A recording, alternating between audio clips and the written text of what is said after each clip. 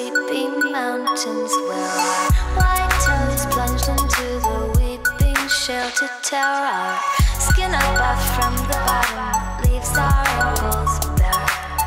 Dolly just wander back and forth.